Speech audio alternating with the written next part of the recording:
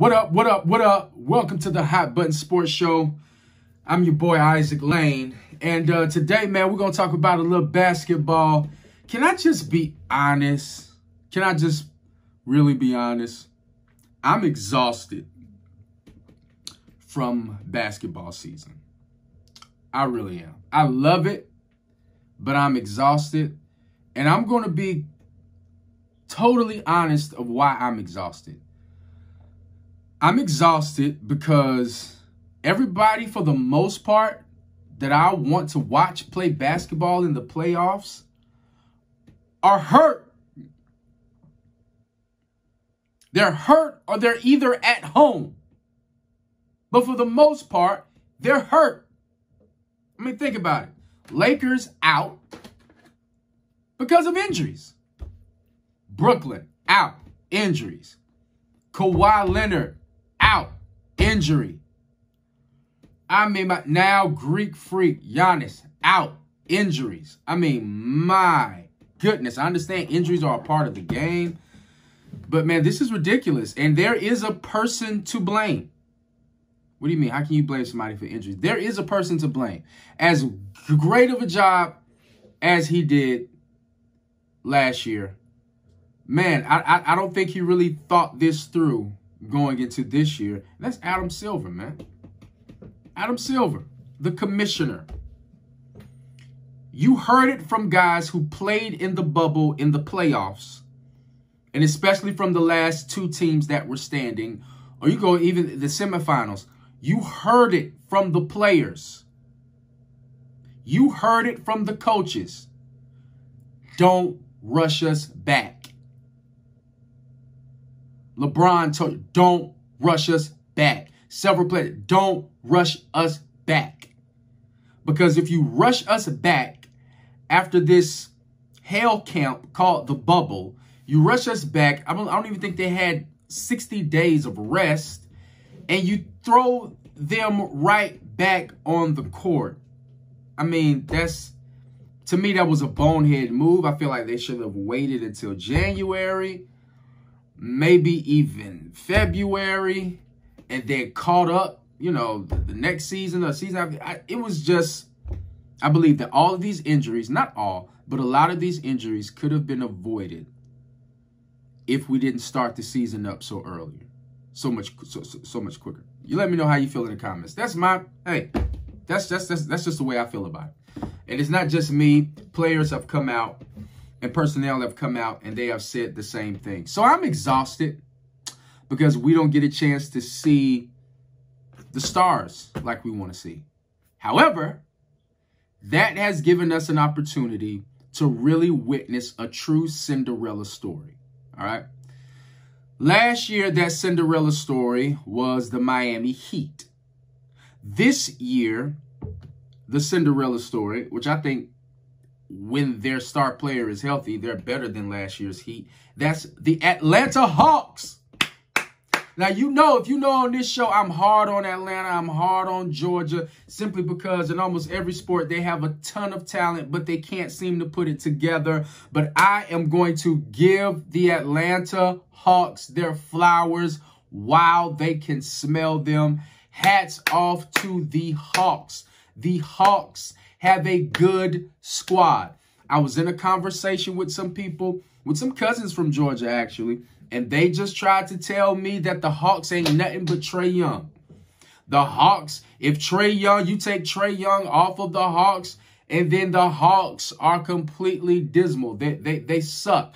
Um, I had somebody tell me Trae Young is better than Devin Booker. Y'all let me know how you feel about that in, in the comments and that, you know, uh, if you take Devin Booker away from his team, they won't miss a beat, which I vehemently disagree with that. But people was just telling me the Hawks don't got a team. The Hawks got Michael Jordan. The Hawks got Trae Young. They weren't saying he is Michael Jordan, but they're saying he represents that much to his team. He's like a LeBron to the team.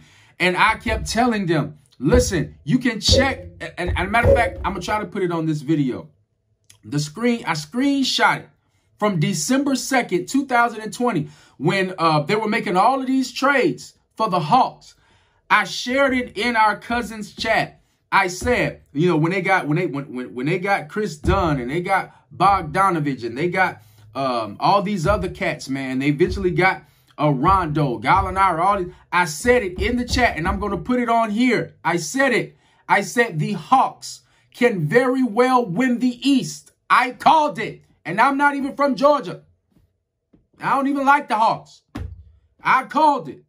I said the Hawks have a squad. The Hawks have a team. And everybody I knew and had this conversation with kept going at my head.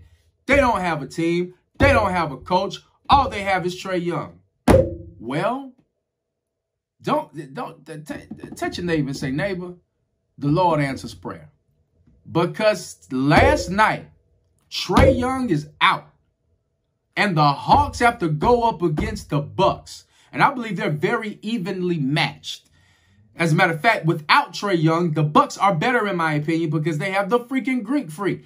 And even before the Greek Freak got injured, the Hawks were doing damage to the Bucks. Here's what we see when we look at the Hawks. When we look at the Hawks, we see a ton of role players who not only know their job and do it well, but they accept their job. They accept their role as role players. Kyrie Irving left Cavs because he could not accept his role as a role player. And he's never sniffed an, a, uh, a finals since then, right? Scottie Pippen, take that as compared to Scottie Pippen. Scottie Pippen knows he's a role player, knew he was a role player, knew he was Robin to Batman on the Chicago Bulls. He accepted it, he flourished in it, and they won rings. If you want to win rings, then you got to have a team who understands that the role players have to play their role and they have to accept their role. And the Hawks are doing that. It was so nice to see last night. No Trae Young, but nobody on the Hawks was trying to replace Trae Young. Nobody on the Hawks, not even Sweet Lou, who could have went for 40. But not even Sweet Lou has the capabilities of doing so. Not even Sweet Lou was trying to fill Trae Young's shoes. They all understood we give ourselves the best shot to win this game if we all play our part and play our role. And look what happened. Now with the Greek freak out, oh man, man, Hawks going to the finals, man. Hawks going to the finals, man. The Hawks are going to the NBA Finals. Will they win it? I don't know. Because I'm not quite sure if they can beat a fully healthy Suns. And I'm not quite sure they can beat a Kawhi-less Clippers. But they can beat the Bucks. They can beat the Bucks. This year is also an anomaly, in my opinion, because almost every year, superstars superstars are winning championships. Almost every year, superstar, superstar team, superstar team, superstar team, super team, superstar, superstar, superstar, superstar. If the Hawks or the Suns are able to somehow win a championship, it might be first time in a little minute that we saw just a really good basketball team win. No super duper huge stars, especially with the Hawks. Yeah, you got Chris Paul, but he's been banged up. Devin Booker, he's young. He hasn't entered the superstar status quite yet. I think he's approaching it. And by the end of this season, you can label him a superstar. But man, listen. This is the first year in a minute to where, man, it's just been the best basketball team. Not the team with the biggest star. And I have to give my hats, take my hats off to the Hawks for that performance on last night. They showed grit, they showed guts, they showed determination, and they showed that if you play basketball the right way, you don't need superstars. What you need is a basketball team who understands and accepts their role on the squad. Y'all let me know how y'all feel about them Hawks. I'll holler at you.